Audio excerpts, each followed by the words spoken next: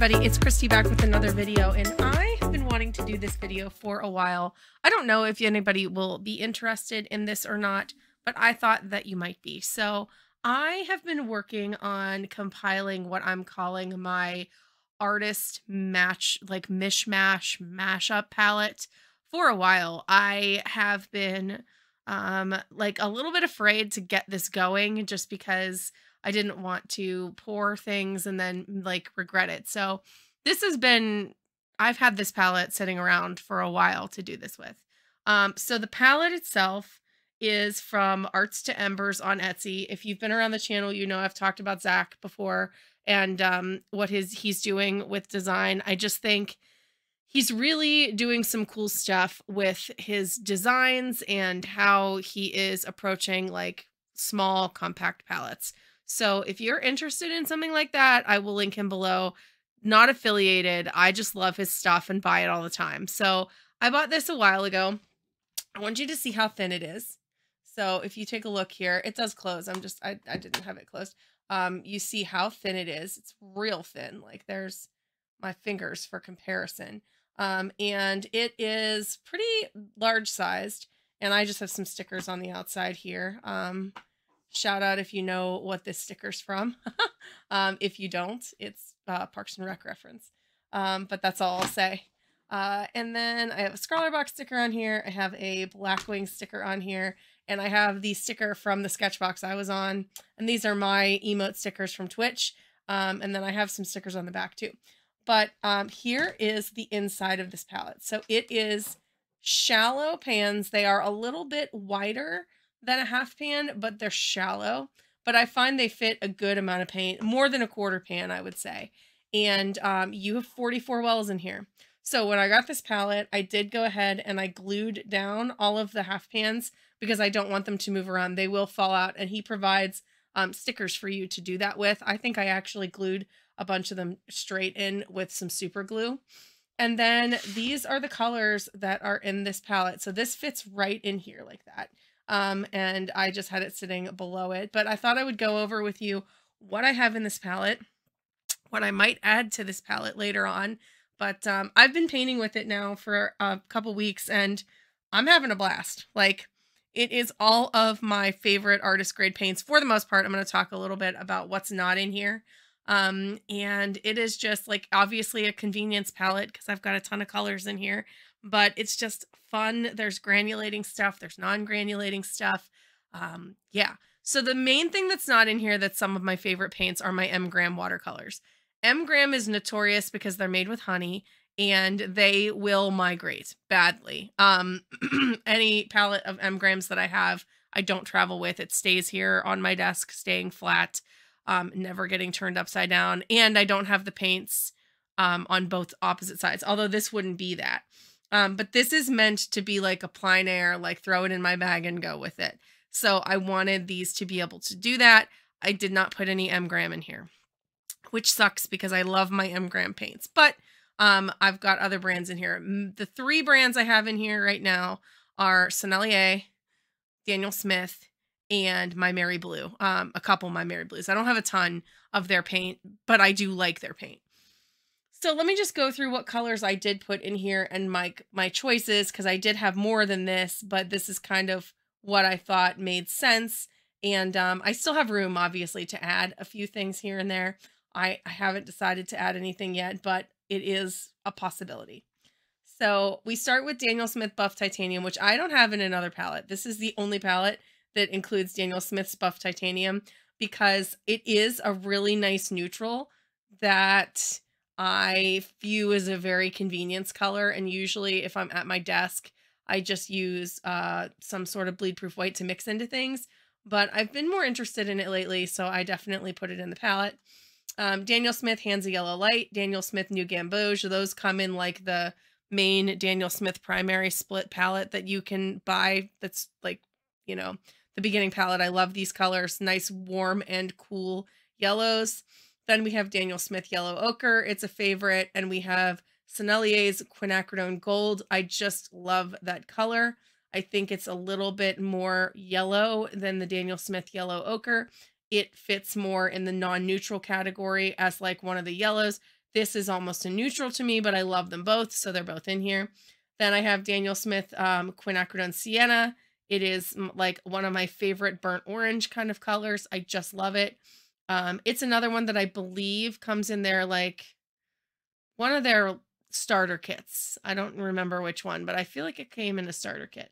Um, Daniel Smith Cadmium Orange Hue, just uh, your typical straight orange. Daniel Smith Pyrrole Scarlet, that definitely comes in their uh, primary split primaries.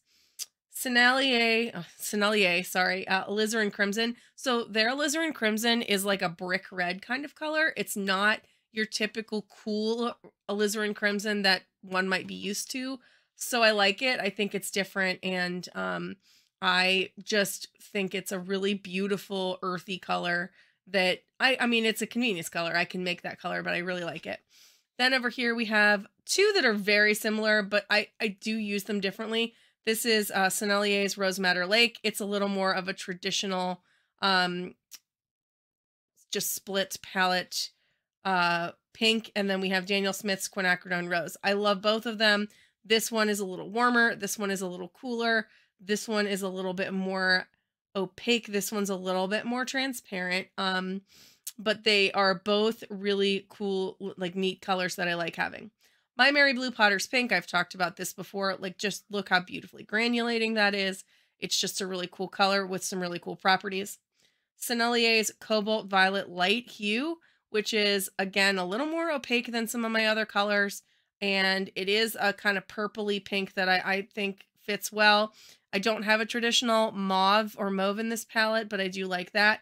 I do have Daniel Smith's Quinacridone Violet, which is what I use as my, my mauvey color in my Daniel Smith palette. And then I have Sennelier's Dioxazine Purple. It is one of my favorite dioxazine purples on the market. I absolutely love it. Can't get enough of it. Um, speaking of colors that are my favorites, Daniel Smith's French Ultramarine is the GOAT Ultramarine. Um, I find it to be my favorite ultramarine blue out there. It granulates like a dream. It makes beautiful fluffy clouds. I can't get enough of using it. I will say Sennelier's uh, ultramarine blue that I have in my Sennelier palette is really nice as well. I just have a half pan of it, but I just, there's something about that Daniel Smith ultramarine. I love it. Um, Daniel Smith Phthalo Blue Green Shade. That's a really nice, cool blue and I have Daniel Smith Prussian Blue. I know a lot of people aren't big Prussian Blue fans these days. It's kind of an old school color, but I love it. It's among my favorites. We have Daniel Smith Cobalt Teal and Sennelier Phthalo Turquoise. They are, when you look at their tubes, you think they're going to be kind of similar, but they're very different. And one is much more opaque than the other. This one is very transparent. So I like these as like some teal options. And I love teal. It's one of my favorite colors. Uh, we have Daniel Smith Permanent Green. I like that. It's kind of a nice medium green. Then we have Daniel Smith Phthalo Green. This is the blue shade, I believe. I, I wanted both of these to lean towards each other because I like that.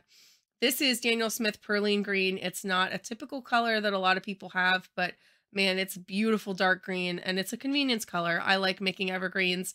Perylene Green is such a beautiful color for evergreens or to at least be a base for evergreens. And then Sennelier's Sap Green is a little bit more um, light. It's less olivey and more green than some other sap greens on the market. So having the perylene with it is nice. I haven't completely ruled out getting an olive green or a sap green here that would be a little bit more in between these two colors. That seems completely excessive, but um, I love green and I love painting florals, so maybe not. I don't know.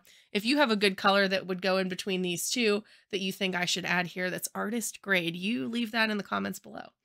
Uh, Daniel Smith Moon Glow, if you know, you know. Moon Glow is one of my favorites. So beautiful, granulates into all these different colors. It's so interesting in paintings. And then we have Daniel Smith Payne's Gray. A lot of these are Daniel Smith. Admittedly, I have um, Daniel Smith's in tubes that I use a lot. So a lot of these are Daniel Smith, but then we've got some others in here that I really like. Like this Maimeri Blu Dragon's Blood paint. It is similar to a burnt sienna, but I just think it's cool. um, and I wanted it and I bought it a while back and it's just been sitting waiting to actually be put into a palette where it can be used. Daniel Smith Burnt Umber and Daniel Smith Van Dyke Brown. Uh, classic browns. That's just like a really nice little neutral lineup, I think, that um, is augmented by the buff titanium, the yellow ochre, and the quinacridone sienna up here. Like you could even put those in a, in a row down here and it would work. Alizarin crimson, this one is even dark enough. It kind of leans towards being a little bit more earthy. So I could mix a really nice like oxide red type color easily with those two. And then we have Daniel Smith Lamp Black. I don't use black a ton in my watercolor painting, but it's a convenience color and I do like to have one in my palette. And then I do have Daniel Smith's Pearl White, Interference Silver, and Iridescent Gold here in the corner. I do occasionally like to have watercolors that are metallic. You know, I like a little sparkle. And so I just threw them in there because I had the space and I figured it wasn't hurting anything to have it. And then you see up here, we have this like gigantic mixing area that's nice and flat and it really mixes nicely um, right from the get-go. It isn't going to bead on you too badly because it's got a resin coating on it. And for whatever reason, that works really, really nicely. So um, that's what I have in this palette. Like I said, this came with it and goes right in here so I can close it up and it is just perfect. Um, I really love this palette and I'm excited to play with it and take it on the road. I do have open spaces in here. I haven't decided if I'm going to fill them right away or if I'm going to let them sit. Another thing I'm thinking about is putting some kind of opaque white medium in here. Um, part of me really wants to find a way to like get some of my Derwent Inktense White in here, but it's too, like getting an actual half pan of it's going to be too high and it's going to be too raised. So I could chop off a little piece of an Inktense block and just like jam it in there. Um, I think that would work. I haven't tried that yet, but I do think that would work. Um, so I might do that, or I might just use the buff titanium and say we're not going to carry uh, any kind of opaque white for this palette at all. Um, I hope that this was interesting to you. I just feel like sometimes I get lost in all the palettes that I have or like playing with one and not with another. And I just wanted something that represented all of my artist grade quality stuff that I can just take on the go, paint wherever I am. Uh, we're going to do some traveling soon. And I wanted to be able to take my quality paints that I like the best on the road with me. So I did that and I made this nice little palette here. And like I said, I wanted to give a little shout out to Zack at Arts to Embers because I do think he's doing some really cool stuff over there. And if you are somebody that likes palettes and likes things that are nice and travel compact, you definitely want to check out his store for sure. Have you ever heard of Arts to Embers before? And like I said, what colors should I add to this that are missing? Here's the swatch card again, and you tell me what's missing and let me know in the comments below. And that's going to be it for me today. I hope this inspires you to play with something that you consider precious and actually use it today. And we will see you in the next video. Bye for now.